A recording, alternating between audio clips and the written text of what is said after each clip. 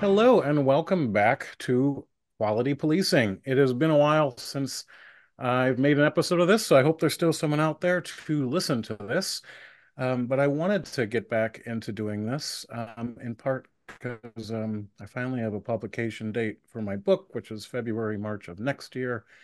And I'd love to be interviewing some of the people in my book. And then I happened to read one of the most fabulous books I've read in a long time. And I was like, oh my gosh, I got to get in touch with this guy. And um, perhaps uh, this podcast is a great excuse to have a conversation about the book. Um, his name is Neil Gong.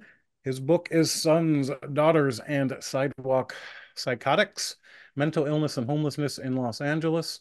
And he is an assistant professor of sociology at the University of California, San Diego. Um, welcome, welcome, Neil. Hey, thanks so much for having me, Peter. Like, um, like as I've mentioned, just as we were talking, like I've been teaching your material for a while, so it's really exciting to be here. Um, well, I, I mean, I, I enjoyed um, your book for a lot of different reasons. Um, and that's sort of what makes it all appeal to me. The subject matter is interesting. The research methods is interesting. Um, the writing is good.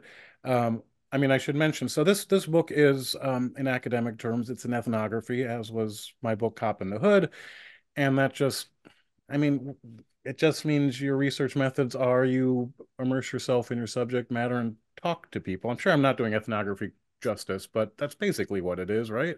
Yeah, more or less. Um, so this is, and so I should also mention because this generally is a policing podcast. This this episode will be policing adjacent, um, because homelessness and mental illness very much is a police issue. But the book isn't specifically on um, policing. It is about uh, mental illness. It's about treatment of mental illness, and it's about the different kinds of treatment in mental illness between the rich and the poor. Um, so it's going to cover those issues.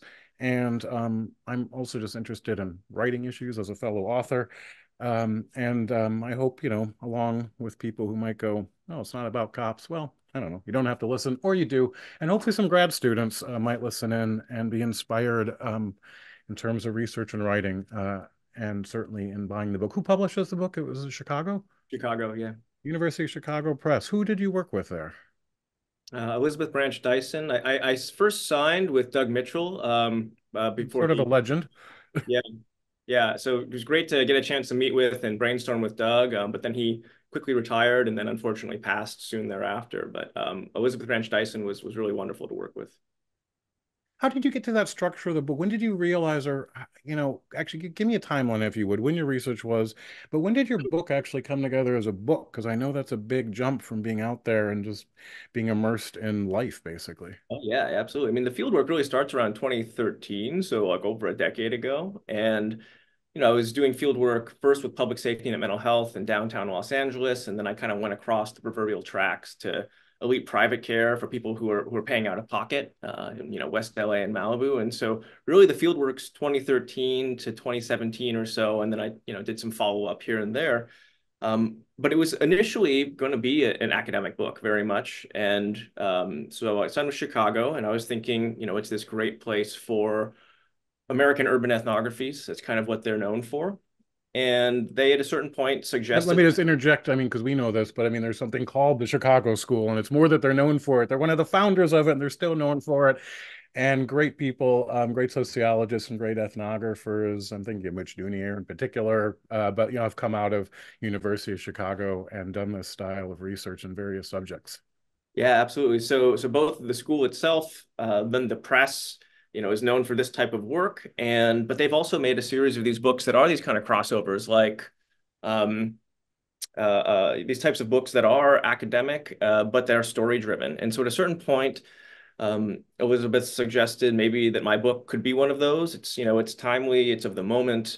I had a lot of stories, some of which are quite dramatic. Um, and so you know, I turned the book in initially as more of this kind of academic book, but then they they asked me to reorient it and sort of maybe start more with stories, and then from there try to figure out how to branch out into history and theory and the kind of more academic sides of things. And so it was it was quite a process. Yeah, the the rewriting from dissertation to book, and then from initial academic book to this kind of crossover one that they were going to market more towards a general audience.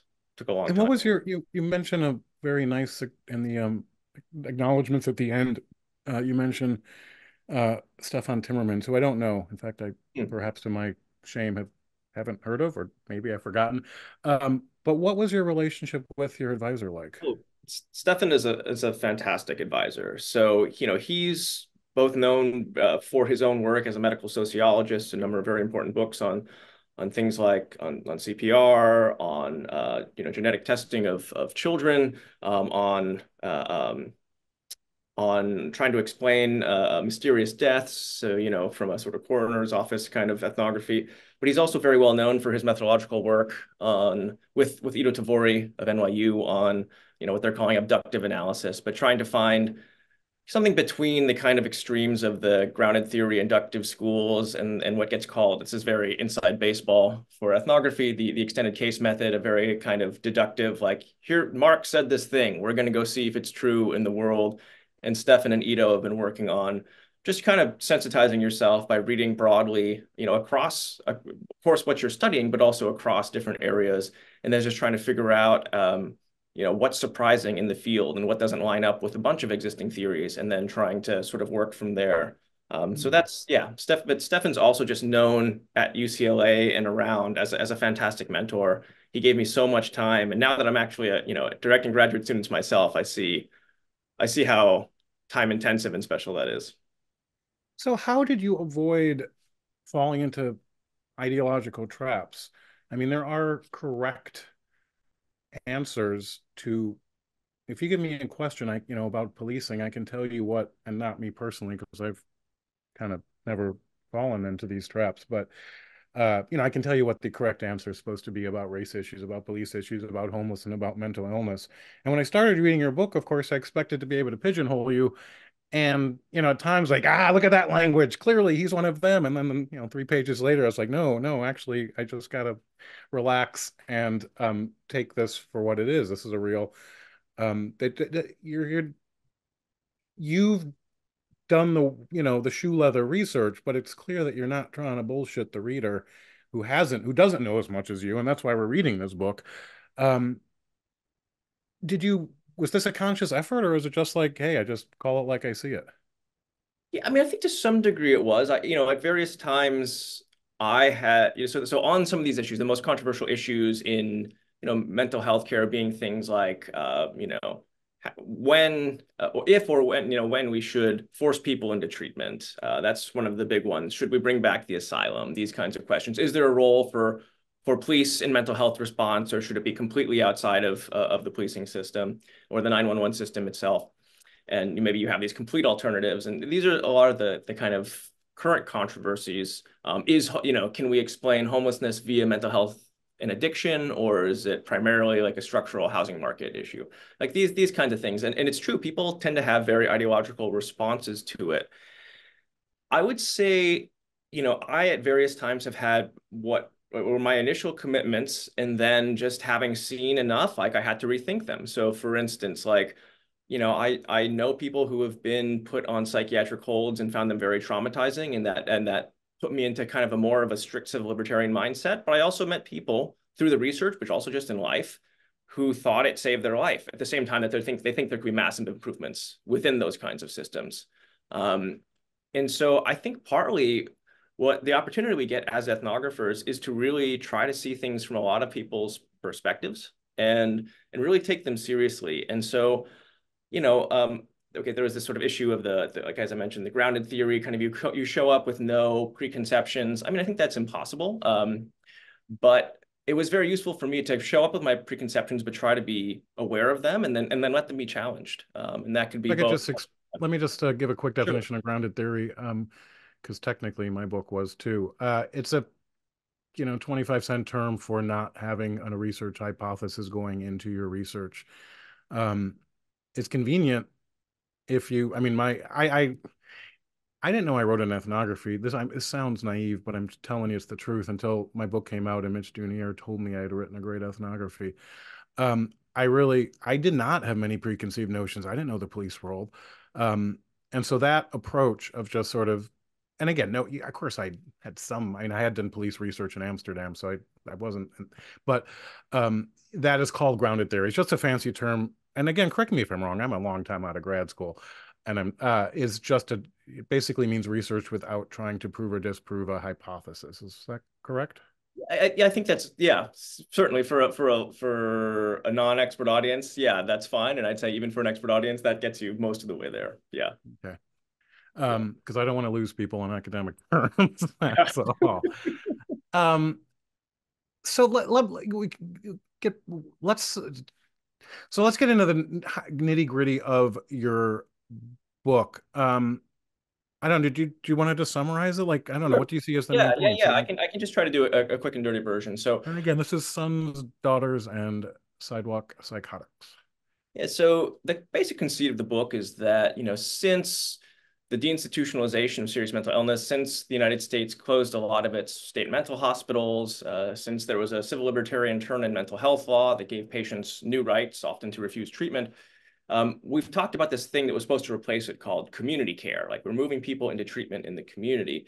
And the basic conceit of the book is that there's not just one community care. Like we have different community cares for different communities. And for some reason, most of our research has not really addressed this, right? That there's there's massive inequality. And so what I did for the book is I is I embedded with like a LA County Department of Mental Health case management team. So this is a kind of treatment provider for for people who who lack resources who are often uh, homeless.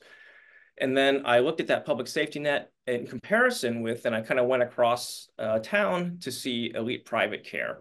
And um, part of the, the punchline of the book is it's not necessarily obvious that what how the differences work. Um, you know, there are problems in each setting, and and some of the things I end up finding, I think, are are kind of uh, uh, they surprised me. I'll say. And so well, and I and um I'm you know one of those things which surprised me is you present a very convincing argument that um that rich people in this system, the system that they go into, have less eh, freedom, sort of in quotes here, because there's a question of what that means. But ignoring that important issue, that rich people have less freedom um, than poor people in their system, and that you know is not necessarily a good thing.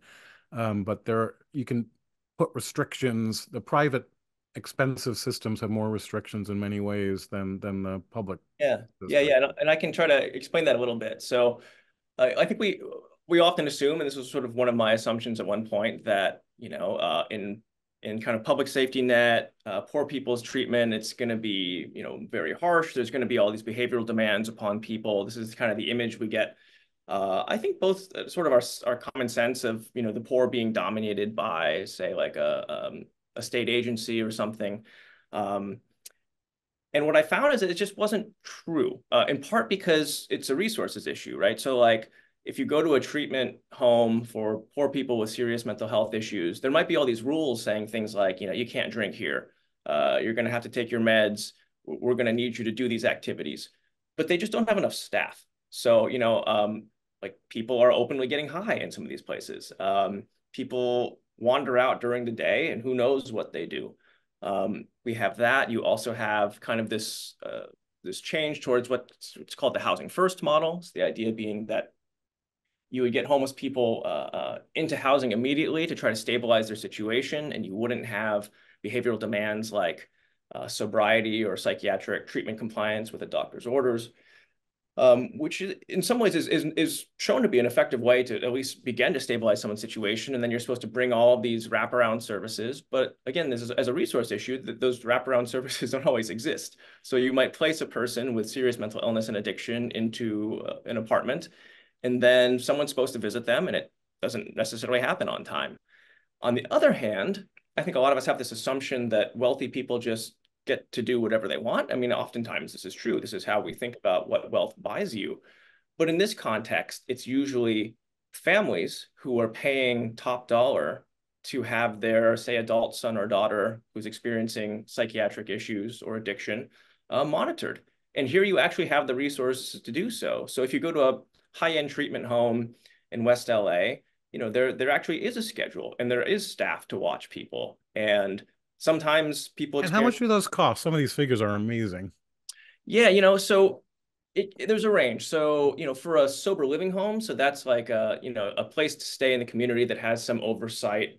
You know, that might be 4K a month, but that's not with a ton of treatment. Um, if you're It's looking still at 48,000 a year. I mean, that's, you know, oh, that's that's quite a bit. Um, but then when yeah. you start looking into the residential treatment programs, dual diagnosis, so mental illness and chemical addiction, and if you're looking in in places like Malibu, they could be thirty to sixty thousand dollars a month. These are the kind of places that, in many cases, uh, you know, will not directly accept insurance. You can try to get, you know, you can try to take the bill and get your insurance to cover some of it, but in, in many cases, what's happening is families who are maybe upper middle class, not necessarily super wealthy, uh, are in crisis, are pulling together all the money they can to try to put their loved one in for for a couple of months to see if they can sort of turn the situation around.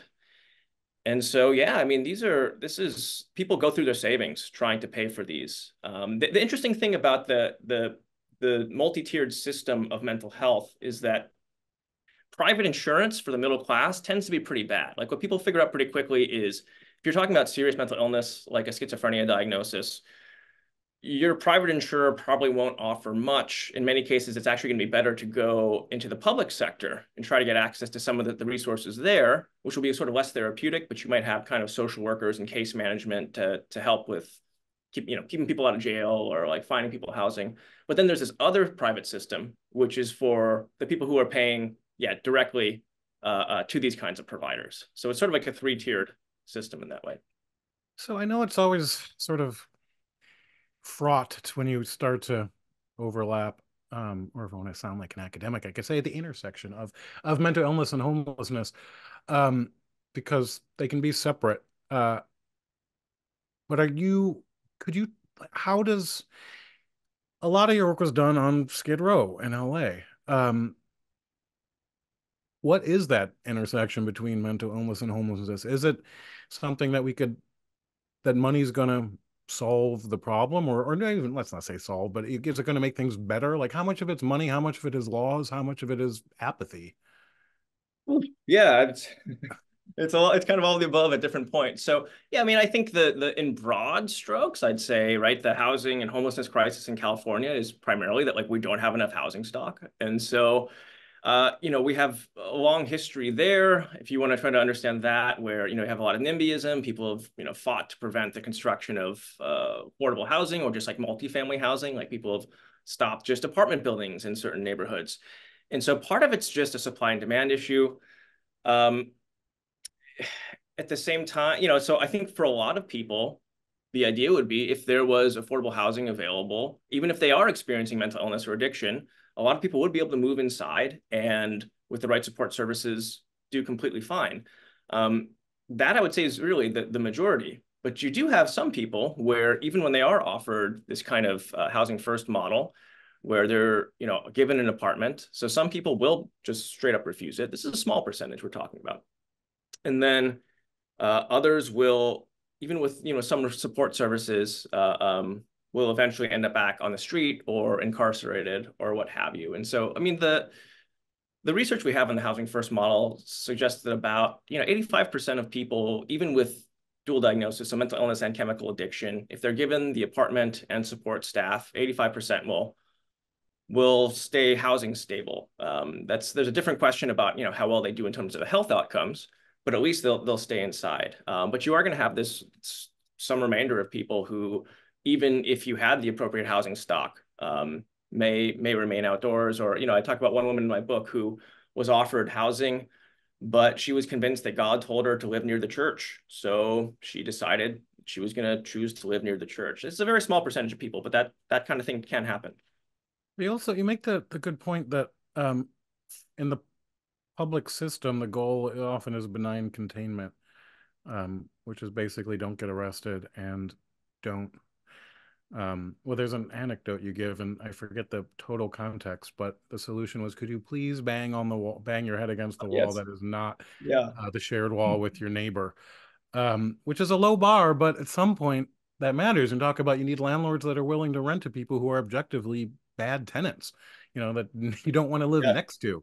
So that kind of limits the choices. But on the other hand, but then the goal for people with money often is social respectability and having junior like successfully graduate college and get some nepotistic jobs so they can you know so people don't whisper well they're yeah. still going to whisper behind their back is the irony. But so so they can pretend that everything's fine normal act normal. Yeah yeah. Um and there are very different goals in that.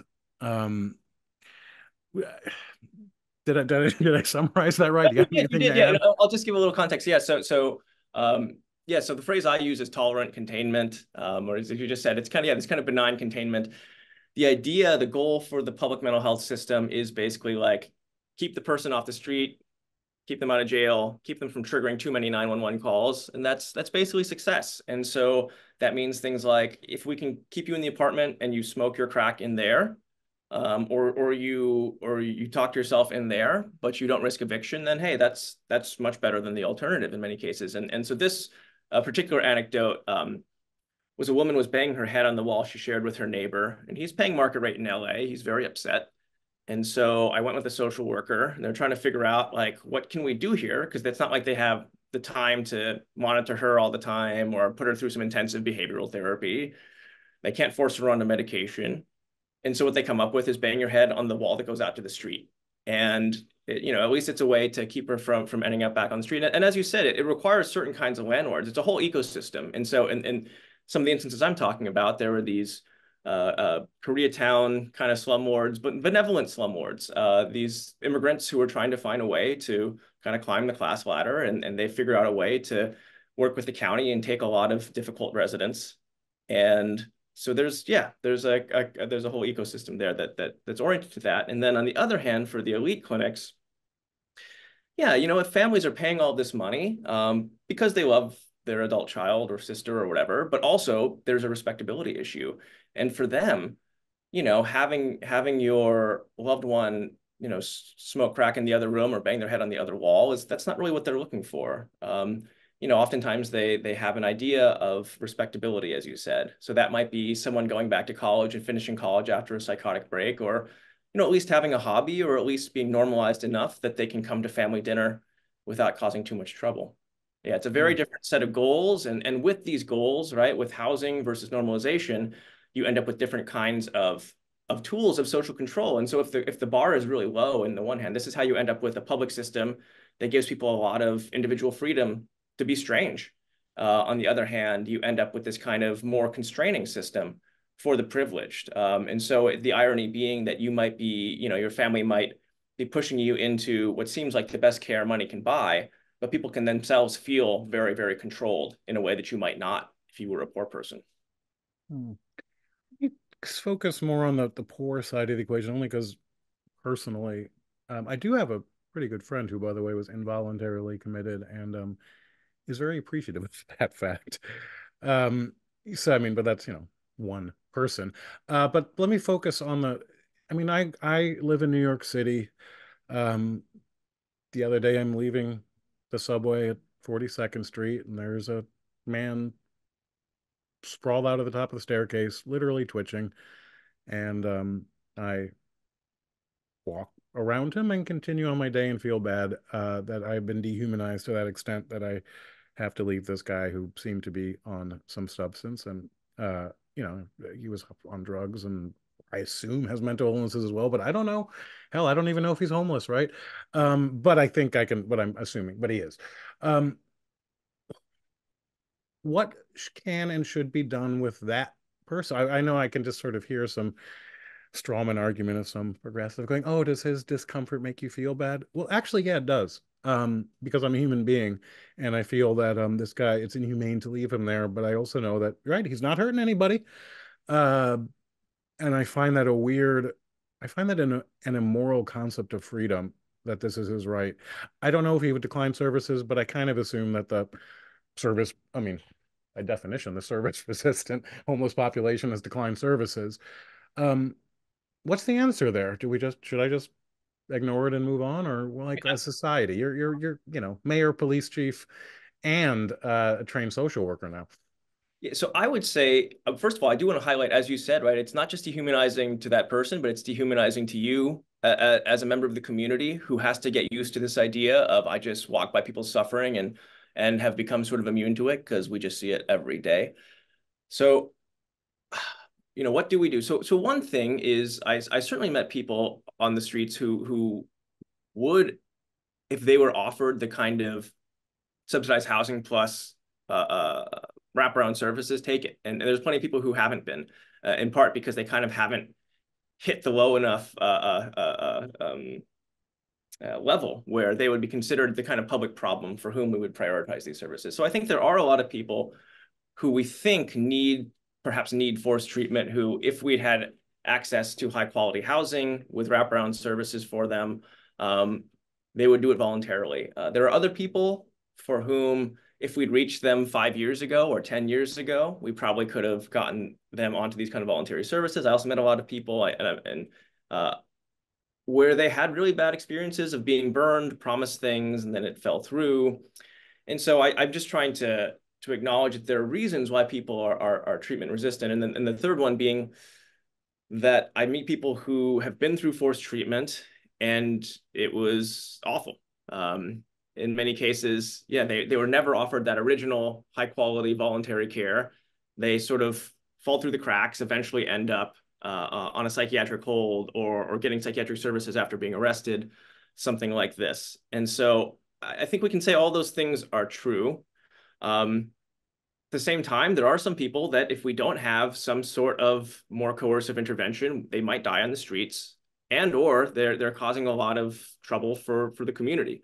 And so I think to me, one of the points I try to make in the book is that we we get locked into these sort of yes no civil liberties debates and those are important but i also think it's really important that we if we're you know if we're going to have more forced treatment like how do you do it well and that somehow never gets never gets discussed in, in, in any kind of in-depth way um, I do often feel the focus is yeah misplaced, where there's a certain type of advocate who wants that person seen by as many people as possible, which I feel is very exploitive. Um, and then often that leads to so make me less cynical or at least less conspiratorial because I'm not naturally a conspiracy kind of guy. And I know also, I mean, every city is different. I, you know, I'm in New York and I know more about the New York system, and this is not my field. Keep in mind, so you know, um, your research was in LA. I assume you know more about this in a lot of places because it is your field. Um, I am very cynical about, you know, for lack of a better term, the homeless industrial complex, and I mm-hmm. see and you know i don't want to paint it with too broad a brush because there's a lot of variety i'm sure but there are people who are profiting from other people's misery and in new york in particular there has been you know along with straight up corruption i mean i'm not even talking about the illegal kind which is out there um, but um, lack of incentive basically to solve the problem because places are paid by bodies in beds and if they get those bodies into better beds then they don't get the payment for that person. Um, and it's purely seen, you know, the profit driven motive because all these things are given out to NGOs and, and, um, sure. um, I, I, would be, you know, it, it, it means when there's a problem, the government can say, look, it's not our scandal, but um, I would prefer almost to be the government scandal because then it's there's more accountability in fixing things. Maybe the actual question is this: like, how does a city New York City spends literally billions on homelessness directly, and then more, many more billions on social services in general. But it's a, um, this is why I get so frustrated with police defunders because the it's, this is off the top of my head, but it's something close to three billion dollars a year on homelessness. The police budget is around six billion. Um, at least I know what I'm getting for with the six billion. Um, I don't believe that if we just took a billion from cops and gave it to homeless services, suddenly all the problems would be better. And also, just for perspective, the New York City budget is about 110 billion. So we're, you know, mm. um, uh, but so the, the cost per person is we're talking tens of thousands of dollars per person. I don't think LA spends that much, but San Francisco has the same issue. And a lot of people myself included say where the hell is this money going? Like i yeah, i would love to help people but at some level yes i do i, I also don't want to see the problem. yeah yeah yeah. Yeah uh, let me take this tackle this in a few ways. So so one you know as far as the you know is it is it a conspiracy? Are there people who are profiting off of other people's misery? Like certainly i mean i think this is a a bigger problem of when you had such a fracturing of social services where you have like a million nonprofits and i met plenty of people who working in nonprofits who were who were good faith actors um, but there is just like it's not well integrated. Uh, I would also prefer to have a more centralized system, and I, I, actually would just like to see a lot of just done more directly by by county governments, um, perhaps by by states. Uh, it, it is highly fragmented. Bringing back the asylum. Yeah. There's that, and there's that as a component. Um, as far as like, yeah, the spending on homelessness, it's true. Like, you know, like just the shelter system in New York, yeah, around $3 billion uh, to maintain homelessness, right? Not to end it. And in LA, there was a big campaign. Um, Ezra Klein has done good coverage on this, where it's like, we're going to spend all this bond measure money to create real permanent supportive housing. So we're not just managing homelessness, we're actually ending it. But for all the reasons I, I, mentioned before, in terms of why it's so difficult to build in California, the NIMBYism, also uh, you know strong environmental protections which delay construction. I mean, all you know the, that that latter one, like I think there's a place for it, but it also gets weaponized by the NIMBYs. So it went from constructing each unit of permanent housing. The estimates were around three hundred thousand. By the time they were actually finished, it was like six hundred thousand because just so many layers and so much time and people taking their cut. And so some of that's just about the problems with our with our housing markets. Um, and so that's certainly one of the ways that all of this money that you think is going towards sort of solving homelessness, it just sort of ends up uh, maybe getting half of your bang for your buck. So so there's that. Uh, you know, as far as the conspiracy, like I said, I think there's there are some people who who are bad actors in this. Um, but for the most part, I people I met on the street were trying to do what they could. Um, but it's just it's kind of this big mess. Well, the people on the street are trying to do what they could, but is the person who is applying for the government contract? That's the one I'm sure worried about. You know, yeah. they have to hire people who, at some level, I think care, but it's the at organizational level. What about um? I some of this I find in a way most of it is not simple. Some of it is like people. Um, New York has an anti-camping law.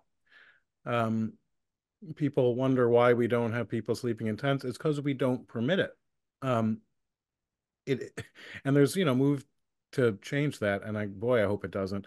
Um we could allow tents in central park. Uh we don't. Um do you have a position on that? Like what i i i it works in, of course new york does have also has a right to shelter which is another issue.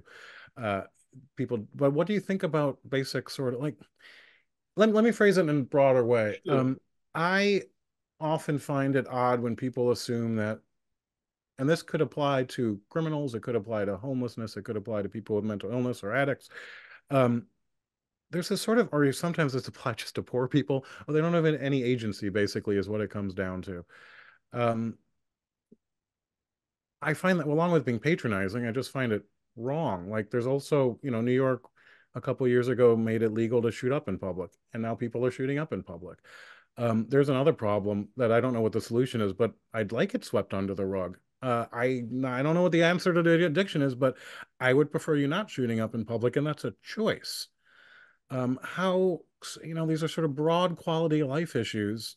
Um, I don't know if you just want to like expound on that or the I mean because you've got competing interests of the community. Like mm-hmm. here's another thing is I'm support in theory like any NIMBY the concept of a homeless shelter. Damn right I don't want to live next to one because some of the people in there are going to be a pain in the ass. Like what am I just supposed to go, okay, small price to pay? I mean, maybe the answer is yes, but I don't know. What... Yeah, uh, these are hard ones, right? Yeah. So I think with that last one, right? So uh, the argument I hear sometimes is to the NIMBY in LA, right? It's like, no, these people are already here. They're already camped outside. And so if you don't want them camped outside, and this is the logic behind, you know, we have this uh, uh, Grants Pass case that we'll get a ruling on from the Supreme Court soon.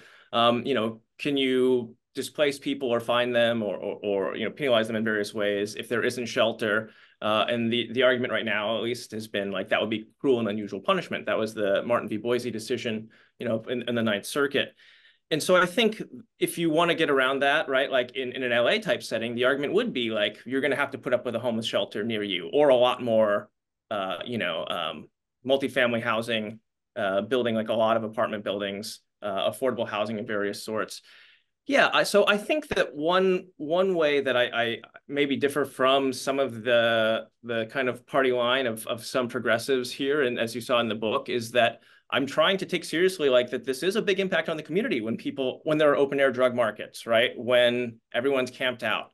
Um, and I certainly would like to see some big kind of structural changes in terms of you know our our ability to deliver people high quality mental health and addiction services way earlier in their trajectories, as well as affordable housing and all these kinds of things. But in the absence of that, or sort of in the meantime, yeah, it creates a lot of havoc uh, in some of these in some of these types of areas. And so to, to my mind, this is also with the forced treatment issue. I mean, of course, these different subtleties for the different ones. So much of the the moral calculus for me kind of hinges on like what it is you're giving people. So if we had if we had good shelters with good services, uh, do I think we, you know it, it makes sense to kind of push people into them?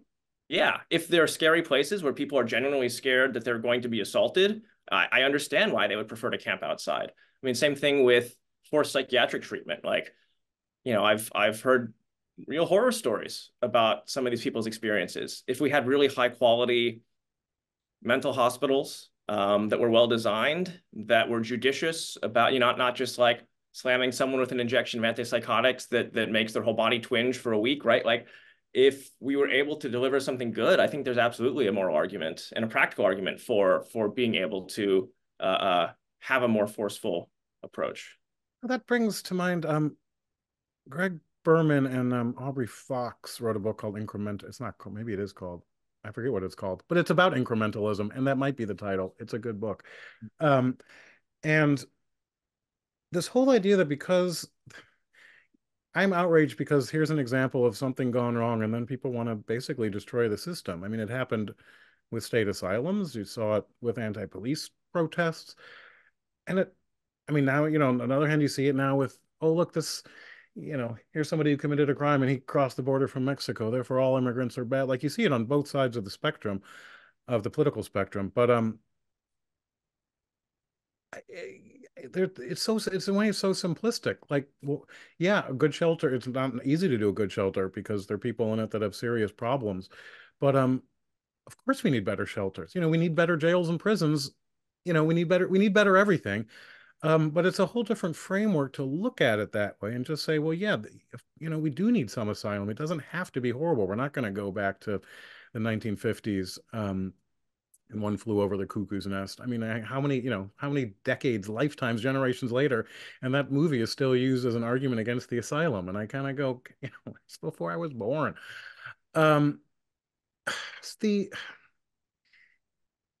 so you get, but it's not. It's, it's tougher to talk about that. And here's the other problem: is is even in, in your better shelter, there will be some scandal, and then of course people will blame blame the system. I, I also, I guess, I get frustrated because a lot of the people, you know, there's also there was a push to get police out of the shelter system. Like, once you get ideology involved, um, it's a problem because now the shelters are less safe. Uh, and I don't want my policy positions on homelessness intertwined with ideological position that all cops are bastards.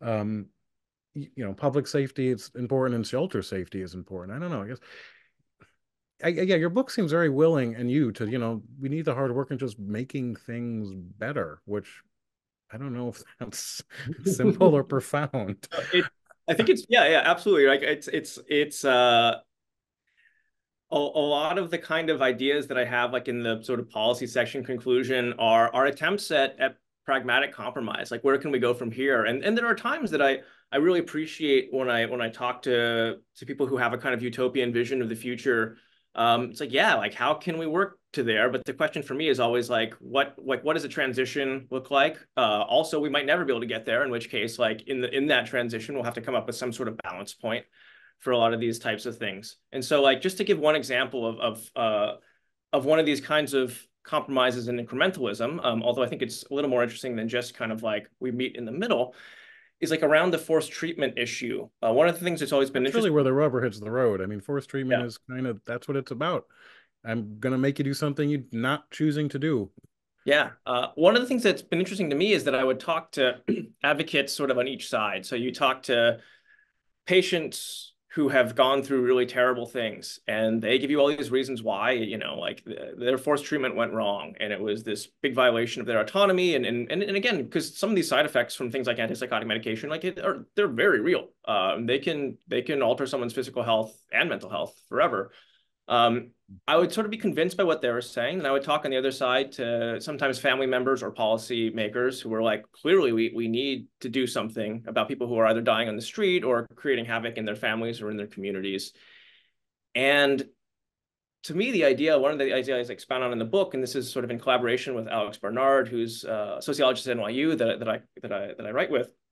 One of our ideas is like, well, we should have, we're going to need some more of these kinds of forced treatment settings, but the people we should have collaborate to design it are the people who have already been through it and can tell us why it so often is terrible, right? So like, it's actually is a compromise that no one else was looking for, right? In the sense that the, a lot of the patient advocates are actually abolitionists. And my message to them is something like, look, this is coming. Like it's happening. These things are going to get built. So let's have your input into it. And I, am I'm imagining things like, you know, you uh, architects who have been placed on 5150 emergency psychiatric holds and have been through like, I mean, some I've been in some of these psych units and, and they're scary. You know, like, can we have a balance point between security on the ward, but also a sense of healing, and so that it's not terrifying when people are at their most vulnerable? Um, how can we do sort of better procedural justice so that when people are going through a court hearing about whether they're going to lose their rights, can we actually make sure that they're listened to so that some of their preferences are are still included in the court order, even if the maybe the main one of like you're going to have to live in this unit um, uh, is they're overridden, but other aspects of what they want are incorporated in. So that's the kind of thing I, I'm looking at. Like and like you said, it's not that sexy to say like, yeah, let's have incremental reform or like we'll let these people design this aspect and these ones design this other aspect. But I think that's where a lot of the hard work is going to have to come. How do you get these institutions focused on actual treatment and cure, not even if not a total cure? I, I guess part of the problem now is you get up some involuntary commitment, you get a 48 or 72 hour hold on someone, but the hospital doesn't want that person. They're they're not interested. They just want to stabilize that person and get them out of the building as quickly as possible. Um, I I mean, again, I I don't really know for sure, but I kind of see that as a major problem. Like there's actually nobody trying yeah. to help this person. Um, and if the if once the you know it's once we made that step of taking away someone's freedom, I need that other organization then to say yes, this is our job. Um, how can you improve that mentality in the in the healthcare system? Yeah. So so one thing again is is is again there's so much fracturing so between the oftentimes the hospitals are barely in communication with say a community treatment team that's doing the you know the home visits and helping support someone once they're either in a living in a treatment home or or in their own private home and, and HIPAA so, laws you mentioned is are an obstacle here too because even family that wants to help yeah. they can't get information yeah, yeah. So that's uh, yeah. there's a lot of challenges in there, and there are good reasons for a lot of these HIPAA laws, right? And and and and so trying to stitch this stuff together in a more pragmatic way is is, is going to be complicated. Um, but like at least some countries, my understanding is that their their hospital systems versus their community care systems are much better integrated. So it's things like that. Um, like you said, too often what we do with emergency hospitalizations is we just barely stabilize someone, we kick them back to the street, and then it's kind of like, wow, we took away someone's rights to not actually help them. Um, eh, so it might actually mean sometimes it's going to mean longer holds, right? Sometimes that will mean better care. Also, of course, we have to watch out because the longer holds that we think of as better care can perhaps turn into this kind of uh, um, unnecessary detention. So we're going to have to also have like a lot of we're also going to have like a, you know, like oh, we're going to have to regulate these things well or have, you know, investigations from time to time. It's, it's going to require like that level of both kind of, um, yeah, the expansion of services, but also watching out because they're not, it's not, it, it's not always a simple good or bad when it comes to these kinds of things. Right. Uh, do you know the answer to this? What percent of homelessness in LA um, are from LA?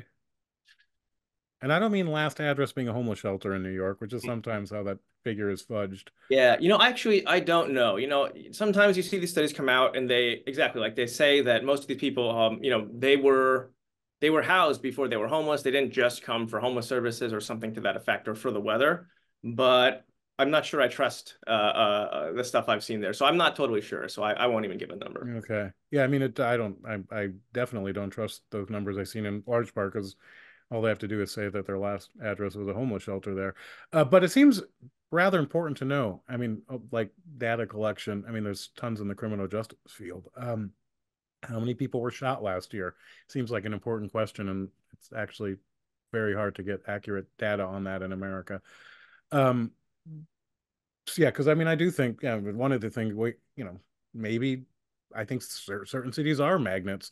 Um, I noticed there there was an influx to New York of people from Pennsylvania who um, it was just visible on the street through skin color and accent. Um, people coming here for drug treatment services because New York does have some of that. And while I support drug treatment services, I don't know if I want to be the home for a bunch of addicts from central Pennsylvania. Uh, and again, that's because we localize these issues. Let me are there any city and you can pick and choose one or all, but um is there a country that does this right that we could use as an example? Is there I mean like Houston often comes up in terms of housing, and I've never been to Houston. Is there ooh.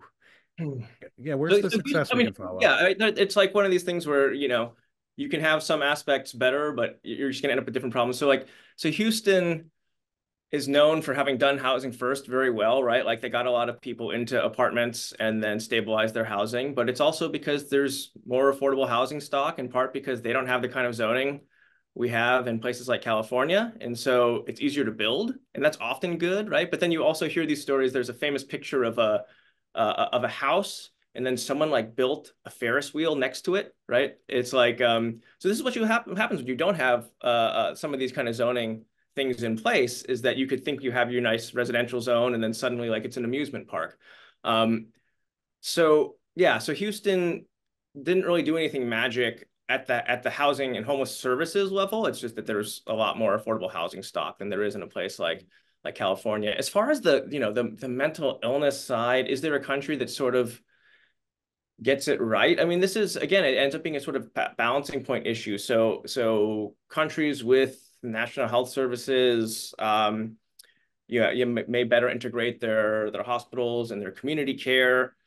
Um, but, you know, like from my understanding from talking to people who, who work on these issues in Europe is that they often will force someone into care at a lower threshold. If you're focused on the not having people suffering visibly on the street side, that's great. If you're looking at it from the sort of patient's rights perspective, there, there are activists who say, hey, in some ways, it's going to be better to be in the US where you'll have more of your autonomy respected. So it sort of depends on what you're what you're looking for there. Yeah. What about uh, differences in approach to harm reduction? Europe versus the US. Yeah, I have yeah, some yeah, opinions on this, but I'm curious without without being too leading, what you have to say about it. Yeah, I mean, I, I would say that that too much harm reduction in the U.S. becomes what I call tolerant containment, right? So, like, you might have harm reduction as this kind of philosophy of of of trying to you know maximize people's autonomy while reducing harm.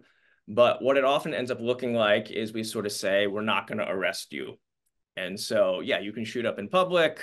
Um, you know, here's a subsidized apartment and do whatever you do in there. In part because I think it's cheaper, right? So like if you have this kind of harm reduction philosophy, but you don't have the kind of health services in place, it really does end up looking like a kind of kind of neglect or, what I call tolerant containment. We're just trying to keep it somewhat out of view and not even that out of, out of view.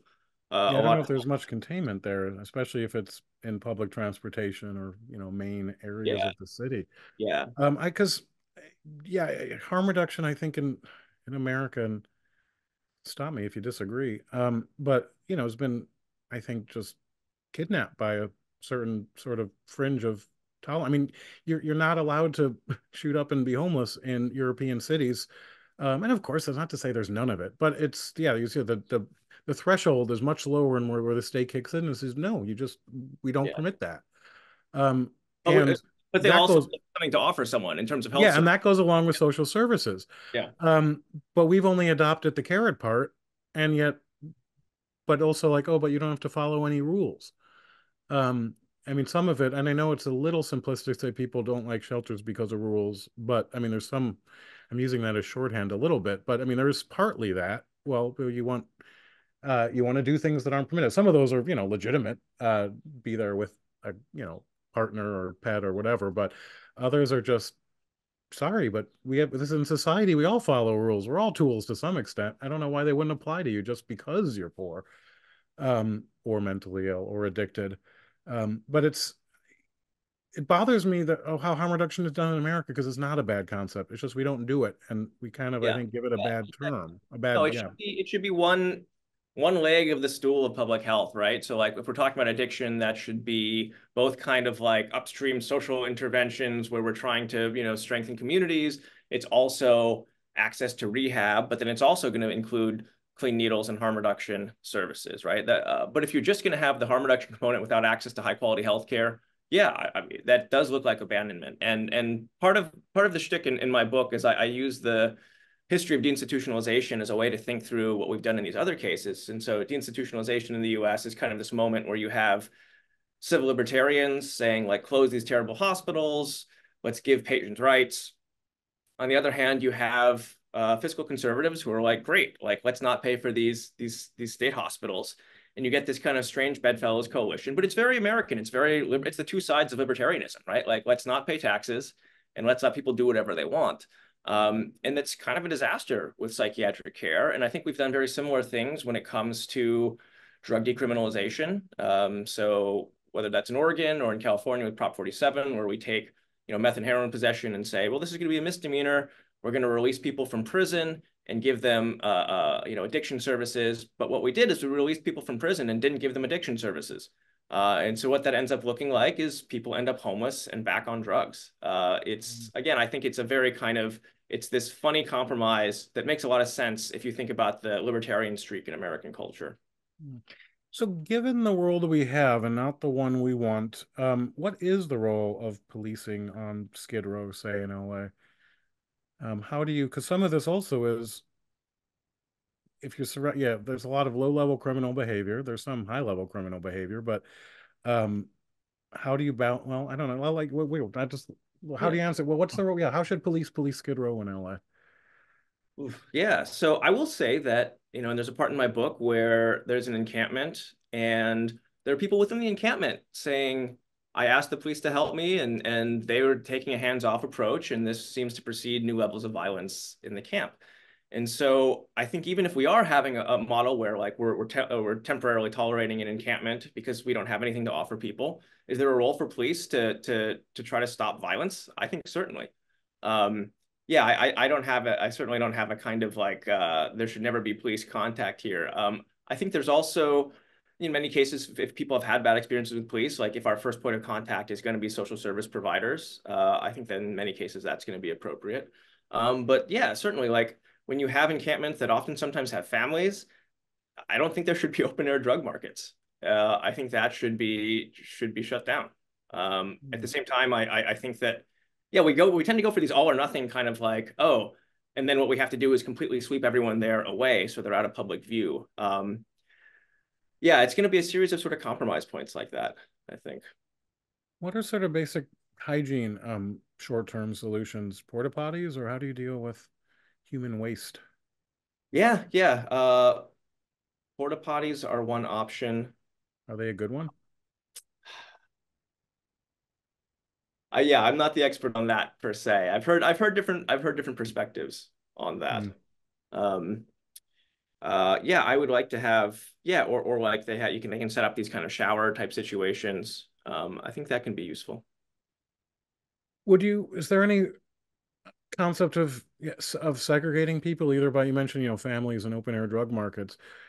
Is it prac, is it desirable? It might not be practical, but would it even be desirable to try to separate groups of people by mental illness or drug addiction or something else?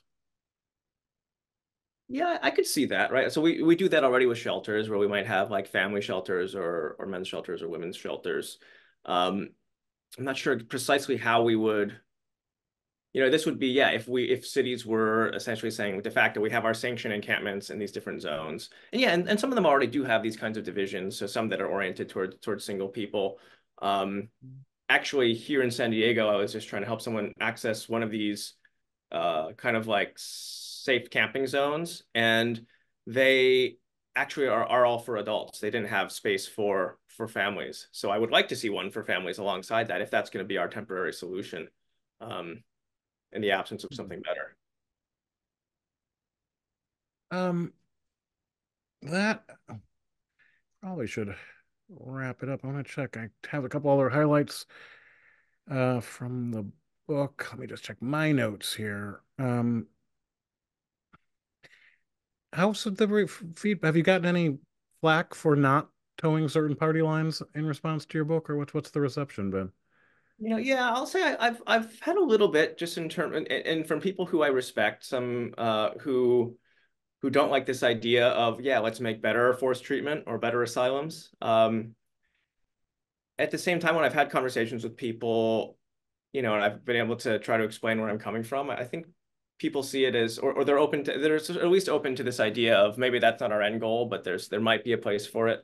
Um, I'll say I've been happy that, you know, I've gotten some engagement, you know, like reviews for like across the spectrum, like a positive review from the New Republic, but also a positive engagement from from City Journal, and that to me makes me feel like I must be saying something uh, that's not at least total bullshit. If people from from different sides can find something valuable, although I would say they also they seem to highlight different parts that they liked or disliked. Hmm. But that's I'm just thinking tactically. It's actually you know let them each I you know cherry pick a little bit. Um, yeah. That's good because at least they're both reading the book and spreading it um, to a wild audience. And some of it, I think, is people are just happy to. It's refreshing sometimes to hear, uh, it, to, to just to feel her like, oh, he's not dismissing my side out of hand. Um, you know, I think that's part of also the appeal of the book, um, which again is um, sons, daughters, and sidewalk psychotics mental illness and homelessness in Los Angeles. Um, any other points that you want to just bring up that are that you'll feel bad if you don't say them and you'll be like, oh man, I should have said that. Um, uh, um, nothing in particular. I will just say, yeah, that, you know, I was mentioning to you briefly, like, you know, that I, I've been teaching some of your material in this class I have called defund police and prisons question mark, you know, and it's interesting because the title itself already acts as a kind of Rorschach. Like people come in either like, that's a ridiculous idea. These students, right? They either come in, that's a ridiculous idea, or others come in like, of course we're going to defund the police. Um, and I've just been working really hard to try to like bring to students, um, yeah, people from across the kind of ideological spectrum. And, and, and, and contrary to, you know, I know sometimes I hear people say like, oh, students these days don't want to hear anything that's outside of their worldview. That hasn't been the case. I mean, it's, it's been really great, you know, and I've had people, everyone from police abolitionists to someone from the Manhattan Institute, um, uh, cops, as well as as people who are trying to work outside of the system. And my students have been very open to, you know, they'll come in with whatever their political priors are, but they've been pretty open to hearing empirical arguments from different positions and then trying to work out like, okay, if that's how the world really is, how does that connect to the ideal I want to see? So I, I would say like I've mostly been, um, maybe there's a selection, I don't know, you know, maybe these students are different than others, but overall, I'd say they That's were. what I was going to say. Do you think it's because we both teach at public schools? Because I hear what you're saying. Um, and yeah, a lot of talk about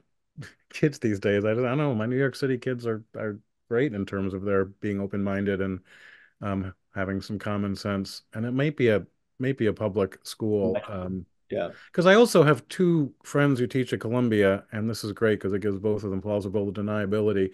But the stories they tell me of the students at Columbia and just the entitlement and the privilege and the weird excuses and the, you know, grade grubbing and all that stuff. And I just go, I I, I can't relate. Um, yeah. There's still freedom of speech in my class. There's still, you know, I've, I've never had anyone. I mean, I, you know, I'm, I'm talking about uh, you know, very sensitive issues of of race policing, crime, you know, and so on. But I don't know. Yeah, I think my students are great, so I'm glad to hear uh, hear that from somebody else as well. Um, well, uh, thank you so much um, for your time, and um, we will stay in touch certainly. And um, I, I'm I'm Peter Moskos, and I'm here with Neil Gong, G O N G. And the book, Sons, Daughters, and Sidewalk Psychotics, is um, out uh, by University of Chicago Press, and he is an assistant professor of sociology at UCSD. That's University of California, San Diego. Um, thanks so much, Neil. It's been great talking to you. Oh, yeah. Great talking to you. Thanks for having me.